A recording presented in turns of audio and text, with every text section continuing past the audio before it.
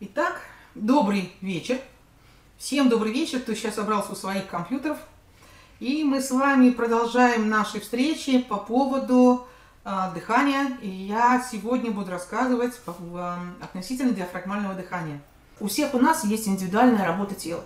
И это очень важно понимать и осознавать, что она работает у всех у нас по-разному. Единственное, что есть что-то общее, как раз и объединяет вот это вот все нас, э, всех нас. Это в любом случае, это дыхание. Оно работает вот, ну, совершенно одинаково. Потому что есть законы, по которым работает наше тело, и оно очень даже, э, я бы сказала, так объединяет всех нас в единое целое, в человеков. Вот все остальное может быть разное. Химическое, гомеостаз, э, при, как это сказать, природные условия, еда, другая, вода, другая, все другое. Поэтому химические, химические соединения в организме могут быть разные, кровь может быть разная. А вот э, дышим мы все одинаково, очень интересно, дышим. И работает тело, и дыхание работает у нас одинаково, в принципе, по запросу. Дыхание у нас разное. Итак, значит, все-таки мы возвращаемся к самому главному, это к дыханию. Опять-таки, вот сейчас да, вспомним, что у нас только дыхание объединяет нас всех. Негры, индейцы, китайцы, японцы, корейцы, э, таджики, арабы, евреи, испанцы, вот э, русские, украинцы, уйгурцы, вот, вот каждого вот взять сейчас так вот, да, и у каждого есть телесный эксклюзив. Вот есть определенные предрасположенности, есть генетика, есть склонность к каким-то определенным заболеваниям, есть э, склонность к каким-то психологическим состоянием, но всех нас объединяет единое – это дыхание. И э, тут сегодня я как раз хочу сказать э, немножко пошире, вот предыдущей нашей встрече, э, я как раз, э, одна из самых первых была это напряжение и боль, где э, я говорила о том, как напряжение, как, что напряжение это защита и почему у нас это все там болит и все прочее. Потом у нас была встреча, э, застывшая на выдохе это э, часто встречается, как раз воспринимают люди, что это человек сутулый, на самом деле он не сутулый, он застывший на выдохе, элементарно его продышать, раздышать, прекрасная фигурка становится прямой, стройной или стройная и вообще без проблем. И нет никаких эндокринных проблем и все прочее. Об этом уже все знают буквально, э, кто обучался у меня методу биофасовой модуляции, который я обучаю, еще у меня такая методика есть, если кто не знает. И буквально вот в первый же день уже кто приезжает обучаться под руками самих же учеников, студентов, которые обучают, уже происходят а, интересные процессы. И, естественно, уезжая домой, они уже могут оказать помощь элементарную, простую, вроде бы так легко, так легко, когда знаешь, как, что делать. А вот когда нелегко, то не знаешь, что делать. И далее а, как раз получается, что когда приходит к ним а, кто-то за помощью по сутулости, то легко это все уходит. Почему легко? Да, да это не сутулость, это просто человек, застывший на выдохе. Кого интересует, посмотрите это видео, объясняю я здесь же на моем канале. Следующая встреча была застывшая на вдохе. А, это человек, который а, с такой квадратной, можно сказать, грудной клеткой, чаще всего плечики приподнятые, шея туда втянутая, а, чаще всего головные боли, усталость, сильная утомляемость, физически слабо выносливый, вот, он застывший на вдохе. Это сердечные ну, нарушения аритмии, хотя в, первый, в первом тоже так вот, этот, который застывший на выдохе, все эти присутствуют, но немножко по-другому. Там больше гипотония, а вот застывший на вдохе – это гипертония. И при гипотонии не так, в общем-то, люди как-то боятся, как боятся гипертонии. Но она и переходит очень часто в серьезные нарушения, сосуд сердечно-сосудистый. Вот. Так вот тоже, когда такие приходят к моим студентам, еще студентам, которые только всего лишь прошли два семинара, это первый, в первой ступени, вторую ступень, то есть только один модуль. И уже результаты есть, я обалдеть, как это? Это что за чудо? Это что это, как оно работает? Вот я сейчас объясняю, как оно работает. Я обязательно вам предлагаю посмотреть все предыдущие вот э, наши встречи, потому что там очень важная информация. И я уверена, просто знаю сто процентов, что вся эта информация у вас первоначально не укладывается в голове. Почему? Да потому что, элементарно, потому что этому нигде никогда не учили, это не объясняли. И, к сожалению, незнание своего тела приводит к тому, что это все равно, что нам дали машину, которой мы не умеем управлять. Да, и, естественно, когда садится, извините меня, идиот за руль, вот, все знают, который человек, человек ничего не умеет, но машину разобьет. Вот мы похожи на этих идиотов. Но, не, наверное, стоит задуматься об этом и перестать быть идиотами, а стать нормальными действительно человеками, душами, которые, а, которым дан такой подарок просто тело, в которое вот мы живем, и которое нам дано бесплатно, и которым нужно все-таки научиться правильно работать, правильно управлять, правильно пользоваться. А самое главное еще, очень важно – наиважнейшее просто восстанавливать. Любая машина, которую человек покупает и за нее платит многие деньги, и деньги он платит там годами, и кредиты берет, потом он ее бережет, он там лелеет, вовремя на ТО отправляет. А со своим телом что мы делаем? А мы чаще всего вообще даже не обращаем на него внимания, не понимая о том, что, в общем-то, запас терпимости у тела ограничен. И не просто есть такая народная пословица, если в 40 лет проснулся и у тебя ничего не болит, наверное, ты умер. Потому что к 40, до 40 лет э, терпелка нашего тела, она еще работает, а вот после 40 лет уже не очень. Грудная клетка, вы все прекрасно знаете, что вот она, значит, э, это ребра, и под ребрами там ребра у нас защищают здесь э, легкие. Э, легкие это сложная система, э, легкие там несколько частей. В общем, анатомически я сейчас не буду говорить. А, это особо, в общем-то, не играет роли, просто нужно понять, что анатомически легкие сложная очень система. Сердце тоже сложная система, здесь же она находится. Очень мало говорят о тимусе, который здесь, вот буквально такая маленькая железа, которая по разным, а, в разных вот источниках, она вообще там весит а, несколько граммов. Где-то я от 6 граммов до 12 граммов. Вот. Но на самом деле, а так оно и по-разному может весить, потому что разные люди, разные, подчеркиваю, народности, разный климат и разные вот разные. И этот тимус появляется при рождении, а у многих этот тимус исчезает, когда человек уходит, вот его а, патологоанатомы а, полностью исследуют, а тимуса там нет. Такое тоже есть. И это одна из загадочных самых желез, желез, которые есть в нашем организме. Но все прекрасные медики, врачи ученые, кто занимается вообще здоровьем, знают, что тимус отвечает за иммунитет, за а, долгожи... вот, за выживаемость и как бы вот срок жизни, вот долгожительство. Вот. Эм, и тут есть момент, то есть вот это никто не знает, но это у нас э, здесь же находится и напрямую зависит тоже от состояния грудной клетки. И э, есть дальше там органы, которые э, нижние диафрагмы, и вот нижние диафрагмы, это где нижние ребра, ребра, там закрываются, значит, защищается печень, э, печень вот справа, слева селезенка, э, желудок, он э, поджелудочная, и, и там дальше разделяется грудная клетка и живот, диафрагмальный вот такой вот э, лист. Вот как бы вроде бы просто, просто анатомически. Но я хочу вам еще сказать, что вот а, пока мы говорим, сейчас будем говорить с вами о туловище, и вот все туловище у нас подчиняется самое главное основному ритму. Это ритм дыхания. От того, каков ритм дыхания, от этого зависит работа всех внутренних органов. Вот такая штука. А, забыл я еще почки сказать сзади. Вот они очень-очень зависимы от работы грудной клетки и дыхания. Если нарушена грудная э, работа респираторного дыхания, практически всегда страдают все органы. И каждый из этих органов страдает по-своему. Легкие, недостаток кислорода, развивается астма, аллергия, еще что-нибудь. Сердце, нарушение кардиоритма и работы сердечно-сосудистой системы в целом. Почки, э, нарушается работа почек, э, слабо начинает выделяться жидкость лишняя, которая нам из организма, поэтому могут появиться отеки. Печень, она может увеличиться в связи с тем, что предыдущая вот история, которую я стала говорила, застывшая на вдохе. Когда застывшая на вдохе, грудная клетка э, увеличена, и таким образом печеночка тоже увеличивается. При всем при том, что человек не пил, не курил, прекрасный образ жизни и всегда следит за питанием, и удивлен, почему увеличена печень. А потому что застывшая грудная клетка на вдохе. И как только снимается напряжение, грудная клетка освобождается, печень становится нормальной, того размера, который по, э, должен, должно быть анатомически у этого человека. Такая же история один в один, с другой стороны, это селезенка. Такое тоже бывает часто. И удивляется, почему селезенка увеличена, да потому что диафрагмальная зона застывшая на вдохе. И вот это вот нижняя как раз, значит, здесь часть у нас, да. Желудок перестает работать нормально, так как он должен, опять-таки, у застывшего на вдохе. И чаще всего там гастриты, э, какие-нибудь проблемы. Естественно, кишечник колиты, поджелудочное святое дело. Ее со всех сторон зажали вот этим напряжением, и поджелудочная начинает плохо работать, и развивается какой-то диабет. По мере того, как снимаются все эти напряжения, все эти диагнозы уходят. И никакой тут фантастики нет. А это естественная биодинамика подчеркиваю, биодинамика микродвижений в организме. Макродвижения, которые мы вот делаем, все это понятно. А микродвижения это внутри. И то, что мы не видим, но вы же знаете, что двигается кровь, сосудики, капиллярчики там работают. Каждый орган имеет свое движение. И лоханочки почек тоже они там делают свое движение. Вот эти вот микродвижения, которые мы не видим, они напрямую зависят от того, как себя чувствует грудная клетка.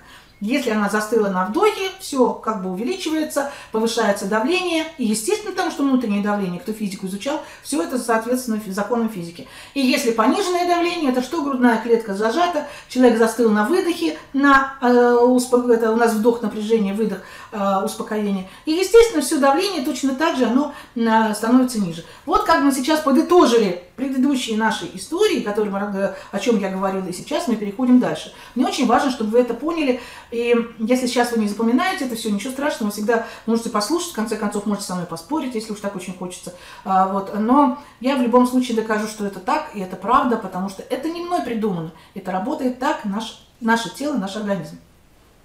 Итак, дыхание. Значит, у нас дыхание все-таки, нужно понять тоже, что у нас дыхание разделено на три, даже не три, а четыре части. Это верхнее диафрагмальное дыхание, и оно очень важно в тех случаях, когда оно нужно. То есть каждое дыхание необходимо телу для выполнения определенных действий, определенной работы, определенной какой-то даже для определенной эмоции тело переходит на определенное дыхание. То есть настолько у нас все это взаимосвязано, что э, э, тело всегда работает по своим законам. Итак, верхняя диафрагма, э, верхнее диафрагмальное дыхание, дальше грудное дыхание, середина грудной клетки, нижнее диафрагмальное дыхание. Здесь нижняя диафрагма, диафрагма, которая разделяет грудную клетку от полости живота. Здесь верхняя диафрагма, естественно, разделяет нас, да, и дальше у нас идет шея, голова. И, естественно, есть еще дыхание на вот раз, два, три, четыре верхнее диафрагмальное, грудное отдел, нижнее диафрагмальное, животом. И еще у нас бывает полное дыхание, но бывает редко полное дыхание, но тоже. И сегодня я сейчас хочу вам а, сказать про, так как у меня пока названа диафрагма, да, мы начинаем с диафрагмального дыхания. И вот чтобы вы поняли, диафрагмальное дыхание у нас есть двух вариантов. Это верхнее диафрагмальное и нижнее диафрагмальное. В чем разница? Какая вообще, вот вообще, как это? Ну, дышит и дышит тело. Но тут есть момент. Вот я смотрю на человека, как он ходит. Я могу сказать, он одет, не знаю, там может вообще просто даже вот посмотрев на передвижение ног по полу, я могу сказать, какое дыхание у него нарушено. Почему? Это как это так? Значит, если у человека есть верхнедиафрагмальное напряжение, тело не может использовать верхнедиафрагмальное дыхание. И тогда что получается? Человек идет, он шаркает ногами, вот человек, который ходит по дому и шаркает тапочками, вы убеситесь на него. можно ему говорить, что перестань шаркать. А он не сможет не шаркать. Потому что для того, чтобы ходить, телу обязательно необходимо свободно в верхней диафрагмальной зоне. Это как это? А вот это так очень просто. Значит, если вы поднимаетесь, ярче всего это понятней, понятно, когда вы поднимаетесь, допустим, по лестнице или поднимаетесь чуть-чуть в гору. Есть идет подъем. При подъеме телу необходимо себя немножечко поднимать. И вдохом, вот именно, вдох и делается следующий выдох. Вдох, конечно, диафрагмальное дыхание, так часто мы не пользуемся. Мало кто сейчас вообще пользуется диафрагмальным, верхним диафрагмальным дыханием. Потому что а, мы а, на лифтах ездим, да ведь? Вот, ну смешно. А вам переступить даже автобусную площадку или сесть в машину – Телу необходимо свободное диафрагмальное дыхание. А еще очень важно, верхнее диафрагмальное дыхание я могу сказать потому, как человек садится и встает. Если человек встает и вот так вот опирается, и он встает, у него не работает верхнее диафрагмальное дыхание. Или он садится таким образом, или он из машины вылезает, удерживаясь и под, прям подтягивая себя. Потому что тело не может себя поднять, нету свободного верхнего диафрагмального дыхания.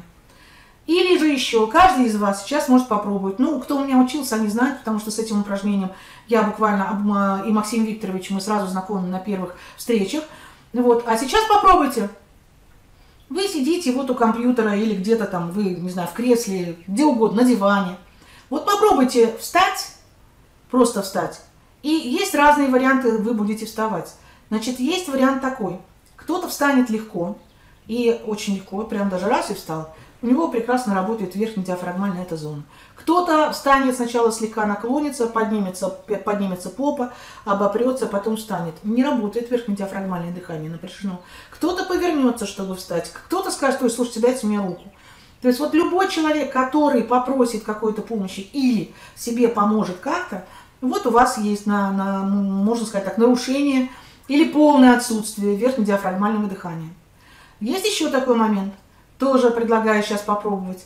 Попробуйте, вот при, вставая, а, кстати, вот по поводу освобождения грудной клеточки, в предыдущей нашей встрече я как раз давала упражнения разные. Поэтому у кого такое есть нарушение, э, попробуйте, посмотрите э, и поделайте. И еще эти упражнения как раз на освобождение работы грудной клетки полностью для тех, кто ну, по каким-то причинам не может, не хочет ли приехать в центр э, или далеко, или еще как-то. Вот есть прекрасный вебинар, где там все рассказано. Это антистресс, там как раз 5 занятий, естественно, не перепрыгивайте одно через другое. Нужно день в день, вот каждый день делать определенные упражнения. И по поводу работы э, в этом направлении было предыдущие встречи, как раз антистрессы и ответы на вопросы, э, как там дальше можно их использовать. Результаты пишут все офигенные. А теперь попробуйте еще такое. Если вот сейчас встаньте, в этот вот вставая, вы делаете выдох. А садитесь, попробуйте сделать вдох. И не получится у вас ни то, ни другое. Потому что, как вы же все время делаете в действии какие-то процессы, и вы даже не замечаете, что когда вам нужно сесть, тело обязательно делает выдох. И только выдыхая, вы сможете сесть. И только вдыхая, вы сможете встать. Вот такие процессы в нашем теле, которые мы не замечаем, не видим, не знаем, не интересуемся. Но если есть нарушение верхней диафрагмальной зоны, то как раз вот это вот элементарные простые вещи, которые нам необходимы, знать и дальше с этим как-то помочь телу э, справиться, мы, к сожалению, не знаем. Поэтому очень много людей, которые... Э, вот прям смотрю по улице, это все сейчас моложе и моложе, уже дети маленькие, а он не может прыгать на одной ножке. Как? Что, ну подумаешь, не прыгать на одной ножке, но это же говорит о том, что у него тяжелое тело, что у него уже нарушено верхнее диафрагмальное дыхание. Ну подумаешь, он там не может э, перепрыгнуть, ну подумаешь, он там ему, он даже могу сказать, что многие, кто спотыкаются по дороге, и вот говорят, слушай, меня прям ноги как не несут, верхнее диафрагмальное дыхание, по каким-то причинам нарушено. Чаще всего именно верхнее диафрагмальное дыхание – это нарушение, связанное с какими-то психосоматическими историями. Чаще всего. Очень редко, когда это бывает травматического типа, что какая-то травма была, там, ну, падение там или еще что-то. Э, точно скажу, что это больше всего психосоматика. Психосоматика страха, психосоматика обиды, вины, психосоматика вторичной выгоды то же самое. Э, психосоматические какие-то процессы, связанные с э, определенным состоянием, чтобы никто не слышал, не знал, не увидел, э, не вызвал вот такой, чтобы, то есть как психо, психосоматика невидимого человека. Психосоматика жертвы. Мы же тоже есть, и все прекрасно знают, что есть люди, кто жертвы. Вот это вот все, вот все, что я сейчас перечислила, это в первую очередь, в первую очередь касается нарушения верхнедиафрагмального дыхания. И для того, чтобы это себе в этом помочь, вот, э, насколько, ну хотя бы как-то можно помочь, то в любом случае я уже сказала, где вы можете найти вот эти вот все а, подсказки и где вы можете найти обучалки, которыми я делюсь с удовольствием. Но, а, к великому сожалению, очень часто получается таким образом, что нарушение верхнедиафрагмального дыхания не всегда подчиняется работе только самостоятельно, потому что Верхнее диафрагмальное дыхание напрямую завязано еще шея и голова. И любая травма головы или шеи в первую очередь нарушает диафрагм, верхнее диафрагмальное дыхание. Почему?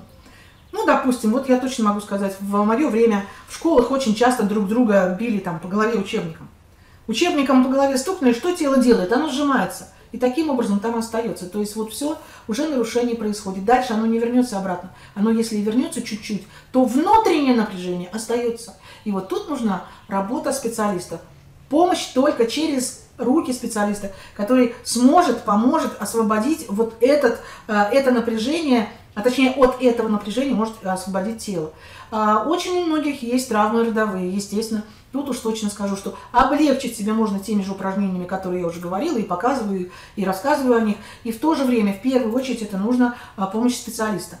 И а, ну, для родителей я вообще считаю, что это просто в первую очередь нужно для своих детей, если у кого-то такие есть уже нарушения, то, конечно же, а, что такое руки специалиста? Это хотя бы, хотя бы для домашних а, услуг, для домашней работы, для домашней помощи, помочь себе и своим близким справиться, освободиться, даже не то, что справиться, освободить тело от этих напряжений. Это, конечно, курс биофасовой модуляции, который проводится в Москве только, только из, это можно обучить этому только из рук в руки, только под руководством а, действительно специалиста, да, это это меня, и вот моя, Максим Викторович еще преподает это направление, эту технику, эту, эти методы. Вот. А все остальное, кто будет обучать, это обман. И скажу почему. Дело в том, что вроде бы все это очень просто, вроде бы очень легко, но есть нюансы и сложности в том, чтобы за, вот, допустим, да, на 6 дней, за 6 дней дать чувствительность в руки такую, чтобы вот чувствовать такие нюансы, дышит, не дышит, движение есть, не нет движения. Я знаю точно, что когда первый раз начинает понимать, как там все двигается, у всех глаза вот такие вот. Это определенные техники, это сложно. И, естественно, все процессы, которые происходят под руками, все должно, все это должно обучение проходить только под руководством специалиста, дабы не навредить. При всем при том, что вроде бы мы сейчас вот говорим, там, да, э, плечики поднял, а нужно же, чтобы они поднялись. И как сделать так, чтобы там внутри отпустилось? Есть техническая отработка вот этих вот великолепнейшего просто чудо инструмента, это руки. И наши руки могут делать и творить просто чудеса. А как это они творят чудеса? Да они вообще сами по себе чудесные. Вы же можете вот сейчас взять руки свои, а попробовать в своих руках жесткость, опаньки, а мягкость. А руки-то не меняются, а внутри другое. А ну-ка почувствуйте холод. И вот он холод, а уже по-другому чувствуется. А почувствуйте, когда, если вы сейчас притрагиваетесь к горячему, и ручки хотят даже уйти сжаться. А ведь ничего внешне не меняется. И чем отличается метод, которому всех, я, всех желающих я обучаю, потому что вот эта внутренняя составляющая является одним из самых главных э, состояний, которые они меняются в зависимости от зоны, с которой работает, э, мягкость, глубина и очень много других техник, которые идут в согласии с человеческим телом. И я хочу сказать еще вот что. Значит, э, Само дыхание, вот как раз верхне-диафрагмальное, очень э, хорошо, вот как раз э, то упражнение, которое я, ну, вы уже теперь понимаете, кто был и слушал. Вот эта вот капризулечка, действительно капризная девочка, мальчик, очень важно делать это для того, чтобы снять напряжение с верхней диафрагмальной зоны. И таким образом, э, вроде бы, вроде бы ни о чем, но оно помогает и освобождает, и снимает те внутренние глобальные напряжения, которые появляются по каким-то либо причинам. И э, верхняя диафрагмальная зона, вот это вот, необходима для хорошей дикции, для хорошего диалога, именно дикция. Вот удержание звука, а я все-таки могу сказать тоже, да, вот что я профессионал в этом деле. И первое мое образование, я музыкант. Я музыкант, хоровик, дирижер, я институт культуры закончила, э, саксофон, э, гитара, вокал, эстрадное отделение, вот, э, ударные, э, вот, то, то есть много инструментов, я действительно, я как как сказать, как родное. Вот. И точно могу сказать, что, опять-таки, это моя специальность была, которой я тоже работала много. И вот могу сказать, что верхнее диафрагмальное дыхание очень важно и необходимо. Вот я, допустим, с вами общаюсь, я пользуюсь верхним диафрагмальным, э, верхним диафрагмальным дыханием, потому что мне нужно говорить это на определенной э, частоте, волне. Все время нужно выдержать такое, чтобы это удержать дыхание, а не, не задыхаться здесь перед вами, потому что я говорю длинными фразами, я говорю долго, я говорю много, я говорю быстро. Вот это необходимо необходимо верхнее диафрагмальное дыхание. Поэтому это точно так же необходимо, вот необходимый инструмент для всех, кто ведет лекции, кто читает лекции, кто объясняет долго, кто говорит по телефону, кто стоит у доски, кто стоит э, на кафедре и преподает это. Вот, диафрагмальное дыхание очень важно для того, чтобы донести определенным образом информацию, которая есть. Вот. И тут это тоже важный, важный инструмент. Значит, далее диафраг, верхнее диафрагмальное дыхание очень важно для правильного жевания и пищеварения. Потому что э, первичное действие, которое мы, вот когда мы едим, мы же тоже дышим. Но вот тело, все внимание уделяет сюда, и получается, что когда мы едим, можете понаблюдать. Вот я сейчас все, что вам говорю, я предлагаю вам, у вас есть время недели, да, и понаблюдать за своим телом. И вы удивитесь, оказывается, вот оказывается, когда мы едим, то у нас верхнее диафрагмальное дыхание – Поэтому люди, у которых э, почему-то нарушена работа здесь, и кто-то говорит, у меня так тяжело глотать, кто-то говорит, э, у меня пища застревает вот в глотке, кто-то говорит, у меня там, ну, мне тяжело вот э, пережевывать, там еще что-то, слюна плохо выделяется. Вот на все это могу сказать, и слюна в том числе – это в первую очередь движение верхнедиафрагмальное, чтобы вот это все здесь освободилось горлышко, и здесь все прекрасно, великолепно работало. И это касается особенно тех деток, которые логопедически не очень хорошо все разговаривают и говорят, где верхнее диафрагмальное дыхание, напряжение там есть. А там почему-то есть спазмы, с ними нужно работать. И могу сказать, что логопеды, которые занимаются, вот опять-таки берут некоторые техники из БФМ, и потом применяют эти техники для того, чтобы детям освободить вот э, э, разговор, дикцию, то в любом случае замечают еще больше прогресс. И как, я знаю тоже, что некоторые дети вообще категорически не готовы логопедически делать какие-то зондом упражнения, потому что у них рвотный рефлекс, допустим. Есть дети, которые прям чуть рот и сразу рвотный рефлекс. У кого-то боль, у кого-то что-то. А как и помочь-то? А вот и помочь, просто нужно освободить верхнедиафрагмальное дыхание. И отсюда у нас освобождается, очень интересно, голова и освобождаются ноги. А вот дальше, как же ноги-то при чем здесь? Ну, потому что а вот я уже в самом начале говорила, для того, чтобы двигаться и идти легко по дороге вперед, нужно, чтобы тело было, амплитуда была легкая. И тут необходимо верхняя диафрагмальная зона, верхнее диафрагмальное дыхание. Тогда легкая походка и легко летящей походкой я вышла из мая.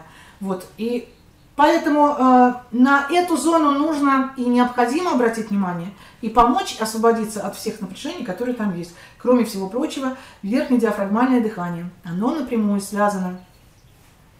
Вот тут есть еще такая, такой момент. У нас вот здесь вот ключица. И к ключице прикрепление 36 мышц от шеи, которые Дальше проходит сквозь, переходит и в костную структуру черепа, и в сухожильные все эти вот здесь у нас с лицом, мимика – и если у человека а, мимические очень, очень интересные изменения, тоже можно по лицу сказать, что там диафрагмальное, верхнедиафрагмальное дыхание нарушено. Почему? Ну, кто, каждый из вас попробуйте как бы спрятаться в а, шею, а так оно, проявить вот это вот. И что у вас с лицом мимика изменится? Вы чувствуете больше затылочную боль. А человек приходит, говорит, вы знаете, мне так часто затылок болит. Я, вот, а мне там с головой вы не будете делать, я ничего не делаю с головой. Но я хочу отметить, я специалист краниосакральной терапии. Я училась в Израиле, у меня диплом израильский, я краниосакральный терапевт. Я отдала, можно сказать, этому учению, прекрасное учение, я отдала этому учению 15 лет. Не делая теперь больше этого ничего. Почему? А потому что в какой-то момент я просто стала разочаровываться. Отрабатываешь, все хорошо, начинает череп дышать, раз опять то же самое, раз опять то же самое, и возвращается через какое-то время. Ну, хорошо, я же, может быть, может быть, я что-то, ну, сама что-то не так делаю. Вот, и э, в любом случае общение с краниосакральщиками, не просто России, да, а мирового уровня. А все знают, что такое есть. И все знают, что в конечном счете это нужно постоянно вот работать с краниосакральными ритмами, и нужно приходить, и этот ритм все время восстанавливать. Почему? Они уже нельзя, нельзя вот освободить, чтобы не возиться с этими краниосакральными ритмами. Потому что по жизни мы все равно каждый день можем еще что-то получить. И опять-таки, ну, не знаю, там, кирпич башка упадет, или там, э, ну, не знаю, испугался, там, э, подскользнулся. Ну, это уже другие какие-то напряжения. Но я поняла это, и я перестала просто, потому что я была наслышана о том, что краниосакральные вот тебе поправили навсегда я это заявляю полностью вот откровенно. Да, краниосакральность здорово, помогает отлично. И лучше этого метода, наверное, даже э, практически ничего нет, если сделать. Вот упал и сразу в течение там суток поправил череп. Вот в течение недели максимум. Проходит неделя и уже, уже это становится хроническим. И вместе с этим уже появляется компенсаторное напряжение, с которым нужно работать. И это не одна отдельно какая-то зоночка, с которой нужно работать. Поэтому краниосакральную терапию всегда применяли – сразу на выходе. Родила, родила женщина ребенка, сразу же ребеночку у нас в России повитухи делали, сразу слепили этот череп. Когда я первый раз смотрела и слушала, и вообще пришла обучаться, я была, честно скажу, до глубины души очень, ну, наверное, горько было мне. Потому что у нас в России такие бабушки-повитухи, вот, а они не бабушки, а женщины, которые знали, как лепить э, череп, и называли у нас лепить череп и лепили череп, и прекрасно получалось. И все прекрасно знали, что вот э, нужно, чтобы вот она приняла роды, она там слепит э, череп ребеночку, будет учиться хорошо. И память, и все прочее хорошо восстанавливалось. И прекрасно это все практиковалось у нас даже в обыкновенных больницах. Это где-то еще до 70-х годов. Потом все это к чертовой матери куда-то исчезло. Жалко. А теперь мы все берем где-то, то у китайцев учимся, то у э, канадцев учимся, то еще у кого-то, и внушают нам, что на Руси все были идиоты и дураки. Нет, у нас очень много техник, которые в, в руках были у народа. И поэтому наши вот здесь российские территории никогда никто не мог завоевать, потому что и здоровьем здесь были богатые, и селенушкой богатые, и силой духом богатые, и вообще были сильные люди. А по мере того, к сожалению, как вот это вот все стали у нас уничтожать и вызывать у нас, чтобы мы сами стыдились своих предков, я не стыжусь, я горжусь. И да, таки могу сказать, что краниальная система, подчеркиваю, это а, вот все, чему обучают, это на 90%.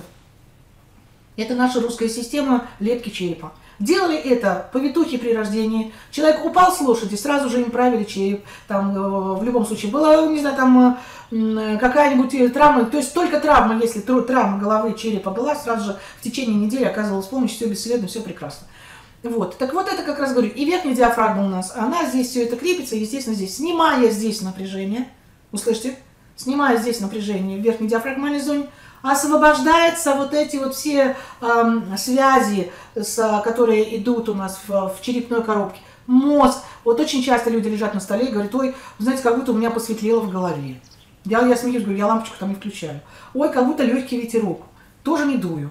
Но это не только под моими руками. Все, кто сейчас работает этим методом, все отлично понимают, что такое происходит. И вот вам верхнее, диафрагмальное дыхание.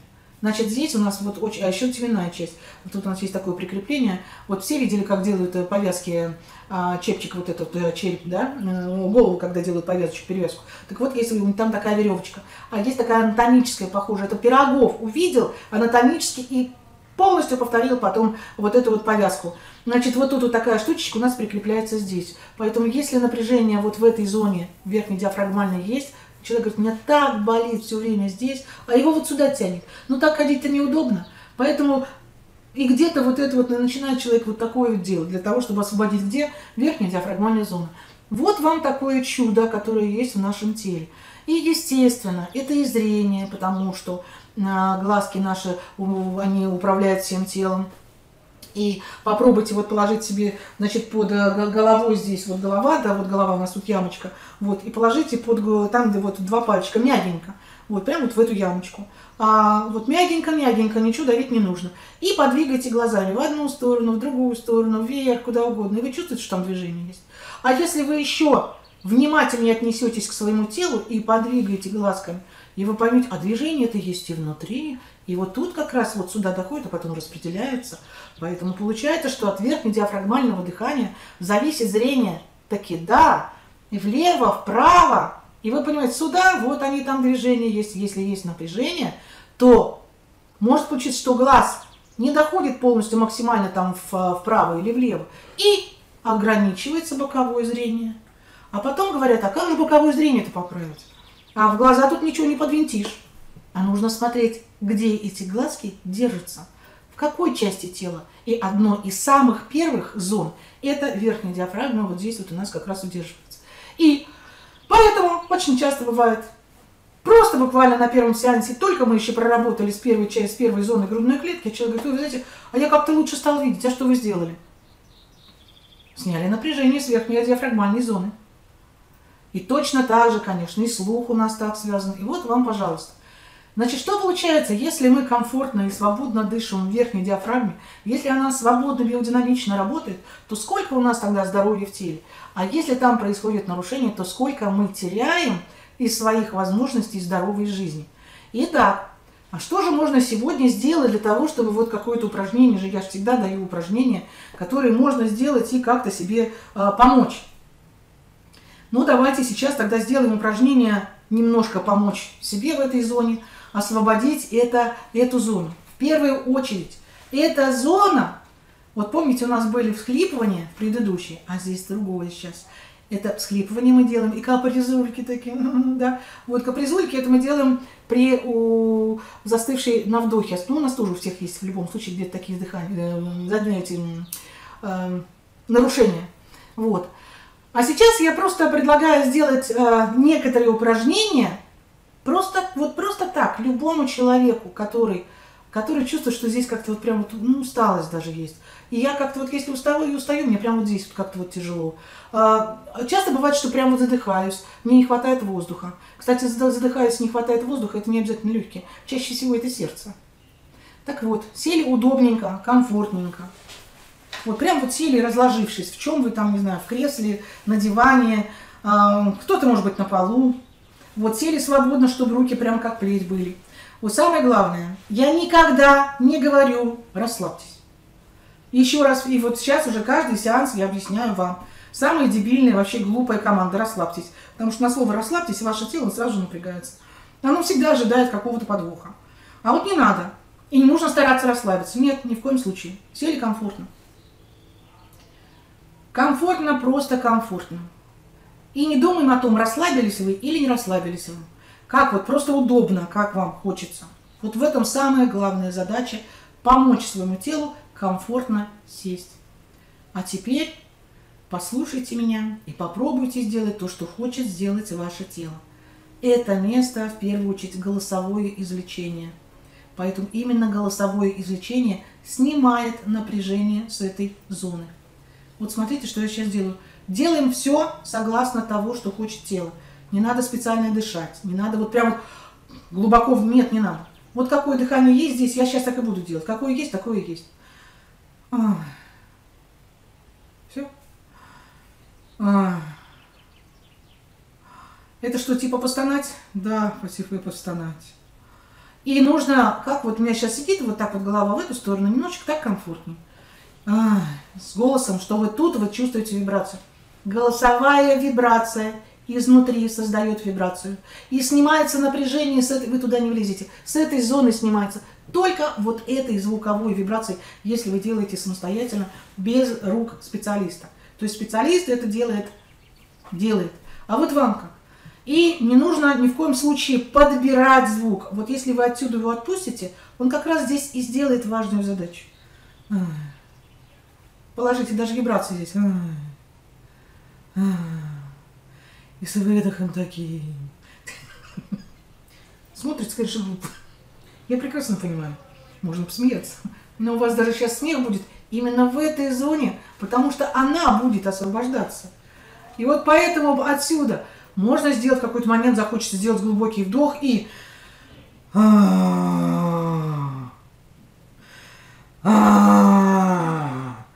Может такой быть звук. У меня, допустим, точно сейчас идет такой, с такой вибрацией, но у меня вот э, немножко осипший голос, и э, здесь у меня в этой зоне еще есть напряжение, которое вот я постепенно снимаю.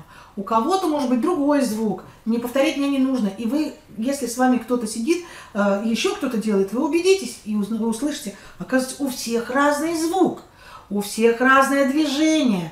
А вот вибрация вот в этой зоне, она должна быть. Поэтому можно положить ручки, а уже другой, видите, у меня уже все уже по-другому пошло. И оно будет меняться в зависимости от того, как вы там освободили. И можно петь, а дальше в душе раньше так делали. Выходил на улицу молодец, и отсюда говорится везде широко. Вот попробуйте сказать отсюда любую фигню, какую хотите. Я вам даю слово, что особенно те, кто занимается э, какими-то лекторскими вот, процессами, вы, если так это будете делать, вы потом поймете, что у вас изменилась подача материала. Потому что так, в какой-то момент вот задача каждого, ну, скажу так, в любом случае, певца, лектор, да, нужно как вот сделать так, чтобы звук дошел до задних рядов. Вот, и когда это большой зал, очень здорово, это концентрация отсюда. Поэтому, пожалуйста, попробуйте. Кто-то, кстати, начнет то же самое зевать. Независимо от того, что там пели, вдыхали, да, что-то делали, а потом раз и пошла зевота. Зевоту обязательно провоцируем, вызываем. И зевоту такую, прям вот она вот-вот-вот есть, а нужно головкой подвигать, вот где она, а, вот и она пошла зевота. Вот, у вас пойдет вдох-выдох. Потом опять очень захочется и плакать, и кашлять. Откашливаемся. И теперь уже что? В дополнение к тому, что вы сейчас делаете, дополняйте предыдущие упражнения, похныкайте. А потом похныкайте. А, о, уже другой звук, слышите, я на вас на глазах прям делаю. А, уже хрипа нет такого. И постепенно та вибрация, внутренняя, своя природная, которая нужна индивидуально каждому. Никакой прибор вам это не поможет сделать, потому что прибор не знает вибрации вашего тела. А ваше тело – знает вибрации своего тела.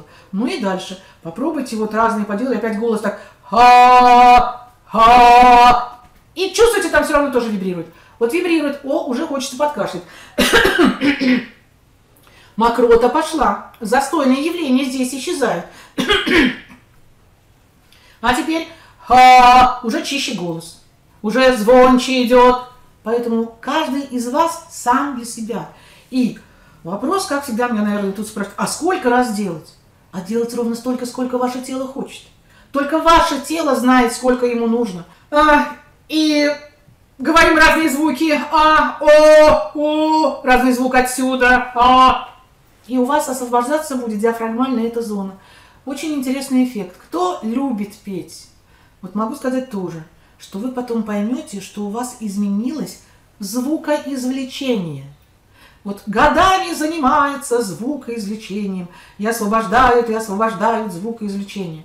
Доходит там это, в этот рояль лбом расшибись, пока есть диафраг, верхнее диафрагмальное напряжение, звукоизвлечение не изменится. И отлично, и будет легче петь, легче говорить. И еще очень интересный момент. В этой зоне очень часто у людей психосоматическое напряжение в связи с тем, что стесняются говорить. Когда-то в школе, в детстве. И когда вы начнете через голос отпускать здесь эти вибрации, тем самым у вас психосоматические напряжения, связанные с тем, что вам было почему-то неудобно, стеснялись говорить, вот, вы в какой-то момент заметите, что, ой, а я вообще-то стал свободнее говорить. И проще говорить, легче стало говорить, и не стеснять здесь ничего. И вот вам всего лишь-то ничего, маленькие упражнения, которые помогут очень во многих направлениях. И кому-то это потом очень пригодится в его специальности, потому что студенты не будут засыпать у него на уроках, так как он будет рассказывать свои интересные уроки оттуда, откуда должна преподноситься информация. И отсюда уже действительно каждый услышит это звукоизвлечение, которое воспринимает человеческий слух и энергоинформационное поле. Да, а вот когда отсюда говорят, то очень хочется потом спать. И такой вот лектор сидит и читает, и читает, и рассказывает нам все такое. А нас всех в сон, и в сон, и в сон. И потом, а он думает, да что же такое, я читаю лекции, а все засыпают. А потому что он производит свою озвучку, своей темы из груди, из груди, а отсюда идет другое. А если он начинает говорить из верхней диафрагмальной зоны, то, естественно, никто не спит. И легче сказать. И сам не так засыпает и не устает от своего, от своего же собственного голоса. Но если он говорит именно из груди, это не факт, что это, то есть не показатель, что он ну, не умеет, а может быть тоже у него верхнее диафрагмальное напряжение. Поэтому, может быть, у вас у кого-то есть это, раскрывайте, развивайте. Я надеюсь, что а, многие получили сегодня а, разную информацию, и она вся полезная. Делитесь с детьми, учитесь, учите детей. И, кстати, скажу, что когда ребенок будет отсюда отвечать урок, учитель будет слышать. А когда ребенок говорит отсюда, такое ощущение, что он ничего не знает. И мямлит, и мямлит. Ну что ты мямлишь-то? А отсюда совершенно другое и другие оценки. Я, когда встречаюсь, ну, бывало я там, объясняла вот в школах, в классах, вот, э, успеваемость менялась. А из-за чего? Только из-за того, что диафрагмально в разными зонами происходит звукоизвлечение, да, и таки от этого очень многое зависит, в том числе восприятие того, что мы слышим. Я предлагаю, вот раз уж вы вошли в такое наше сотрудничество, делайте упражнения на себе. Чувствуйте, как ваше тело реагирует на вашу помощь, как оно радостно вам отзывается, какие процессы у вас происходят, как тело освобождается. А самое главное, вместе с освобождением, что вы получаете по своей жизни. Потому что это все всегда реагирует на, на процессы в теле, реагирует, знаете, вселенское пространство тоже. Поэтому очень многое может измениться в вашей жизни. Вот так вот. Итак, ребята, до свидания, всего хорошего, до встречи. Жду отзывов и желательно, если можно, вот прямо под видео в комментариях. Я, я тоже вместе с вами порадуюсь за вас. Я порадуюсь тому, что наконец-то люди слышат и начинают заниматься собой. И да, это мне лишнее, это не лишнее, это мне действительно поддержка. И я тогда буду думать еще что-то дать, еще. А когда нет отзывов, я вот честно, я сижу и думаю, а делать, не делать, а кому это делать? В пустое не хочу. Я хочу это давать тем, кто это хочет получать. Я хочу давать, я хочу обучать людей жить в содружестве с их собственным телом. Но как-то получается, что вот я а, говорю, а в ответ пустота. Ну, раз пустота, мне хочется закрыть свой рот и больше ничего не выпускать. Так что, если вы хотите, чтобы я дальше продолжала с вами интересные беседы, интересные упражнения, еще что-то рассказывала о человеческом теле, о его резервах и как этим пользоваться, пишите комментарии, рассказывайте о своих, о своих реакциях тела. И, опять-таки, наблюдая за реакциями, вот что вы мне отвечаете, да, я понимаю, что нужно вот об этом еще сказать, и об этом нужно сказать. Я с удовольствием расскажу, покажу, научу, предложу все, что можно делать без медикаментов без специалистов. А если что нужно только со специалистом, тогда я вам говорю. И, конечно же, в первую очередь подчеркиваю, вот верхнее диафрагмальное дыхание – это самые глубинные внутренние процессы, сам себе не снимешь вообще. Вот это только под руками специалистов. По возможности приезжайте в центр. А еще лучше по возможности обучайтесь сами и помогайте себе и своим близким. Вот. До свидания. Всего хорошего.